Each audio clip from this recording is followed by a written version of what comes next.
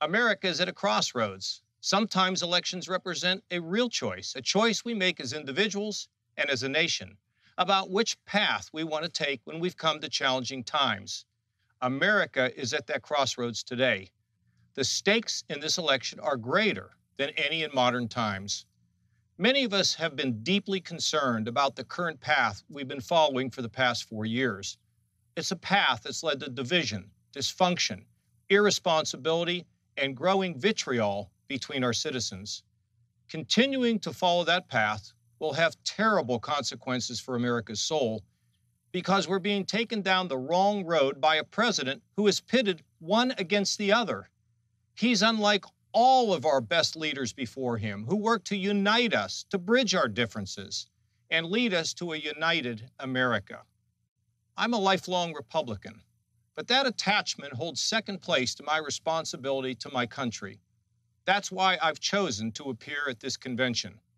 In normal times, something like this would probably never happen, but these are not normal times.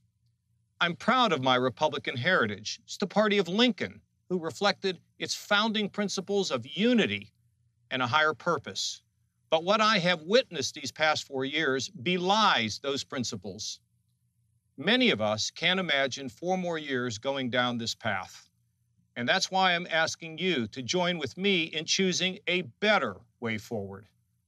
I believe the best of America lies ahead, but only when we rediscovered our shared belief in the United States of America for our children's future, which can be bright, hopeful, and inspired if we choose to make it so. I've known Joe Biden for 30 years. I know his story of profound grief that has so deeply affected his character. I know Joe is a good man, a man of faith, a unifier, someone who understands the hopes and dreams of the common man and the common woman, a man who can help us to see the humanity in each other. He knows that the path to a restored and rejuvenated America lies in respect and unity and a common purpose for everyone. Yes, there are areas where Joe and I absolutely disagree, but that's okay, because that's America. Because whatever our differences, we respect one another as human beings, each of us searching for justice and for purpose. We can all see what's going on in our country today and all the questions that are facing us. And no one person or party has all the answers. But what we do know is that we can do better than what we've been seeing today, for sure. And I know that Joe Biden, with his experience and his wisdom and his decency, can bring us together to help us find that better way.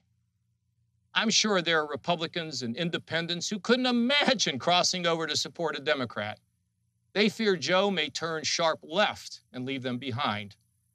I don't believe that because I know the measure of the man. It's reasonable, faithful, respectful.